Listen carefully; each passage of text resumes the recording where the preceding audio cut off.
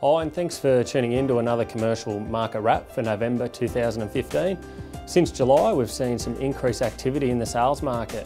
You might remember in previous market wraps that we'd mentioned we'd seen increased inquiry and inspections during the middle of the year uh, and now we're seeing an increased number of sales as a result of that in the past few months. Of course properties with longer leases and stronger tenants have been most popular uh, but statistics show that owner occupiers have been quite active as well. Some of the results in the past three months negotiated by our, by our office are as follows. 118 Baylis Street. Uh, this had a high level of interest during the campaign and a deal was negotiated prior to the tender closing. The property was leased through to June 2019 with a quality tenant occupying two levels of office accommodation in a terrific location and this property sold for a little over a million dollars. 149 to 151 Baylis Street.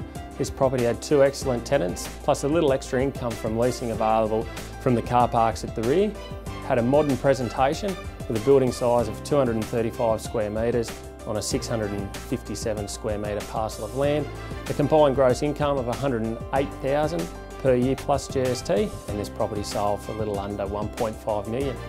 Another property is 19 Peter Street. This was one of the largest buildings and land areas available for sale in the CBD. The property consisted of a large 2,196 square metre building with approximately 62 car parks on site. The property was a long time vacant once the previous supermarket had moved out and eventually sold to a local developer. 38 Morrow Street, this is also a unique opportunity to buy one of Wagga's landmark properties.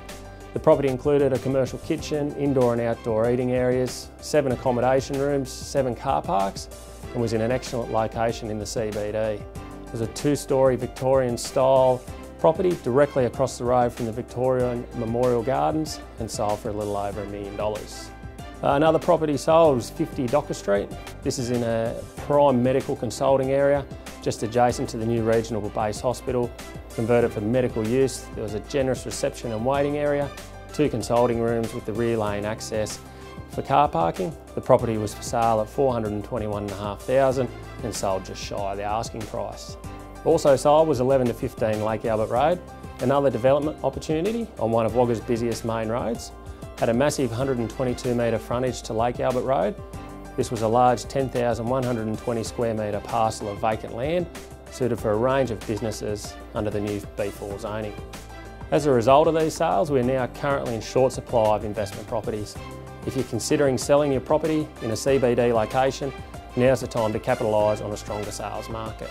So if this is you, please call our office to arrange a property appraisal or feel free just to call to discuss the market. Our office number is 0269 215677. I look forward to hearing from you and thanks for listening.